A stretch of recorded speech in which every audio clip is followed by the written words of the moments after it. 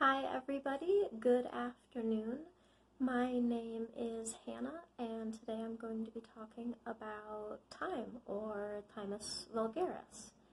So, I've got some interesting information lined up today about that common culinary herb that hopefully we all have growing in our gardens. In here, I've got a little patch of garden thyme, some uh, Thymus vulgaris. You can see it kind of poking through the grass there. Um, and it's still nice and green and fresh, um, usable for cooking and medicinal purposes in mid January here in Michigan. Uh, the only way you really wouldn't be able to get to it year round is if you've got a couple feet of snow on top of it.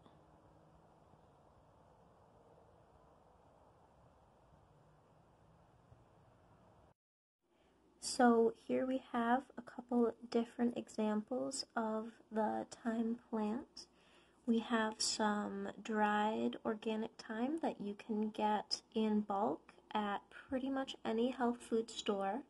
Um, if they don't have it in bulk, they probably do have it in containers, but it's always better to use the glass container than the plastic, in my opinion. And then some fresh thyme that I picked out of my garden today.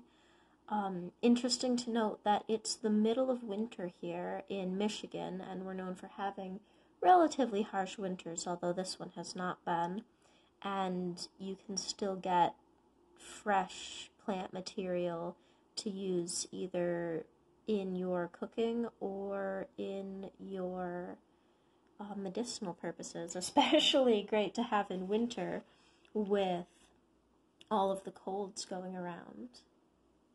So, thyme or Thymus vulgaris is one of my favorite herbs for culinary and medicinal uses. It's my absolute go to for any upper respiratory ailment. Uh, some of thyme's herbal constituents are tannins, bitter principles, flavonoids, triterpenic tannins, bitter principles, flavonoids, triterpenic acids, polyphenols, and antibiotic compounds. Some of thyme's therapeutic actions are antibacterial, antimicrobial, antifungal, antioxidant, antiparasitic, antiseptic, antiviral, astringent, carminative, deodorant, diaphoretic, expectorant, hepoprotective, and tonic. This is by no means an exhaustive list. The ones that are uh, most useful for upper respiratory ailments are antibacterial, antiviral, diaphoretic, and the expectorant um, aspects to it. Those are what really make it stand out as a good remedy for bronchitis and colds. Some of the medicinal uses for thyme are for support of asthma, bronchitis, candida, colic, coughs, diarrhea, eczema, fevers, gas, bad breath, menstrual troubles, sore throats, ringworm, whooping cough, and that is by no means an exhaustive list.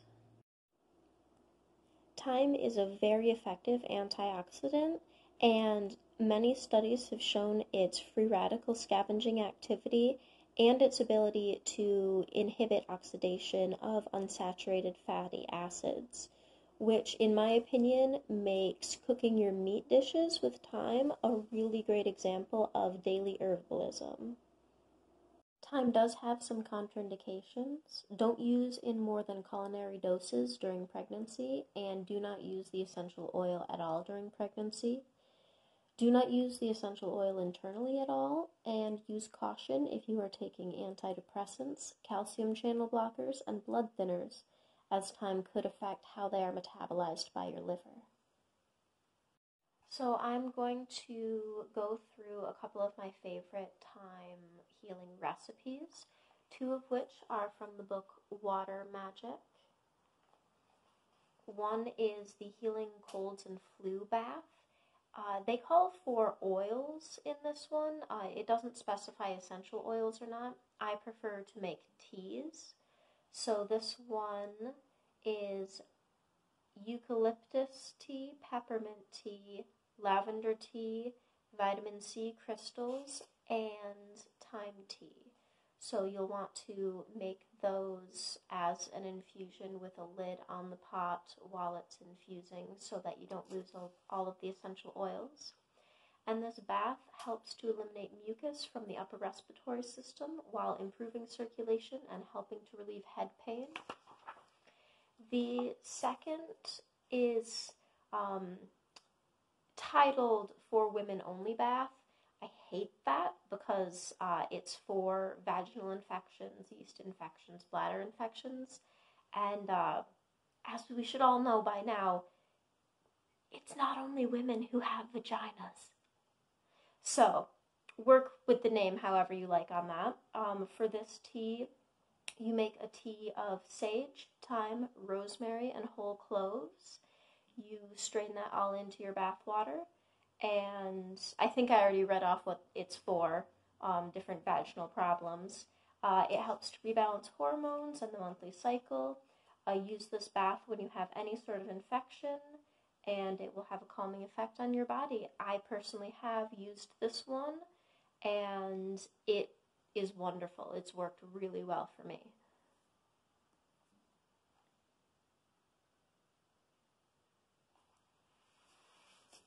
So some other of my favorite ways to use thyme are to use it as a steam when you have an upper respiratory infection.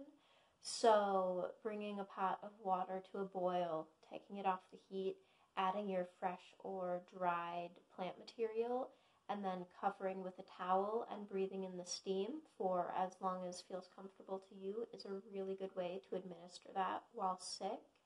You can also make a cough syrup out of thyme, marshmallow, and honey. So you make a, uh, a strong infusion of thyme and marshmallow, gently, gently simmer it until it's reduced. Um, measure how much liquid you have, add the same amount of honey, heat for a little bit longer until it thickens up, and then you can just take it by the spoonful as needed to soothe, soothe a sore throat. That is my information that I have on thyme or Thymus vulgaris. I hope that you have enjoyed this video and have a wonderful day. Bye now.